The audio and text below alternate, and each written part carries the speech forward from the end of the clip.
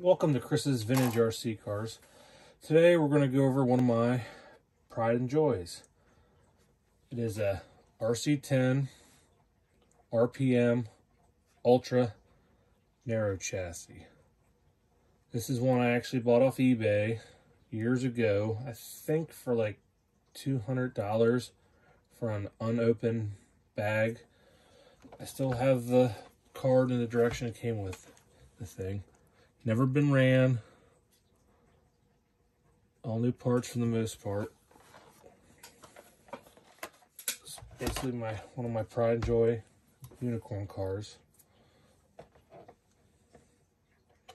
It's ready to run, but basically, like I said, never has been run. It has the recommended low-C body on it with the team associated spoiler.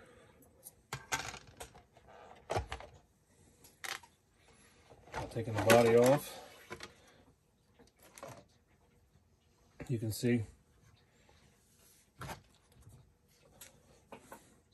all Novak Electronics, Futaba servo. Didn't want to drill, so I mounted the antenna like there. As you can see, I used the clear shocks. They're not really practical for anything. They just look cool. I have uh, clear gel soap in it because these things are known for leaking.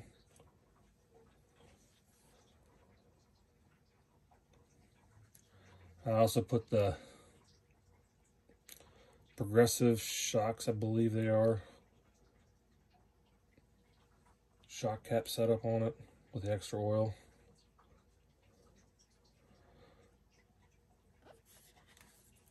I didn't use the RPM bulkhead cover because the kit I got didn't come with the RPM shock tower.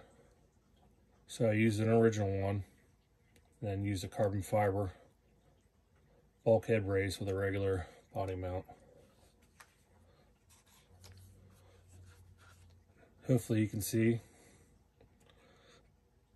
I put the RPM truck transmission in it, the 265. You have to modify a little bit, grind it to get her to fit. With a little work, she fits fine. This car here, I actually have, uh, I can get it off quickly, a Losi hydrodrive setup on it. Most of my RC10s even, even they're associated. When I grew up as a kid, for some reason, whenever I run the Losi Hydrodrive on my RC10s, car always did good, had the best luck with it. Let's see. Hydrodrive. These are the reproduction wheels. I believe I got them off eBay like a year or so ago.